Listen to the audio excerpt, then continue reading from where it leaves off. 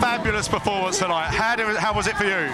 Well, I think uh, uh, the audience made the night. They've had uh, such a great atmosphere going in the room, and the cast were feeling the atmosphere straight away in the back. So um, overall, amazing. I did the time warp. Oh my God, it's the wonderful boys from Gogglebox. How are you both doing? Oh, really well, thanks. Had a great night. Really good night. It's so amazing. Spent loads of money.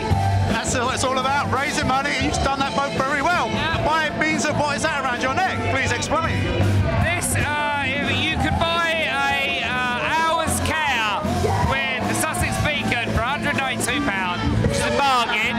192 pounds for an hour's care. And Chris has brought. You have something in your hand. What is that? This is a Titanic um, picture, and it's been signed by the last survivor of the Titanic. Bargain, a bargain. Christopher Biggins, of course.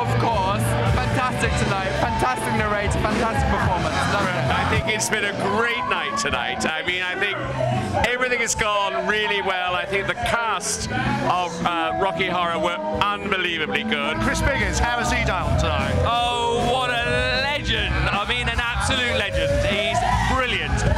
A real coup to get him. You know, gave his services free of charge, hasn't charged us a dime for tonight, um, and just an amazing job. Played the narrator many times on stage, was in the film, and he just brings his unique personality to it. Brilliant. I love the Sussex Beacon, and I hope that we can raise that million pounds that you need as soon as possible.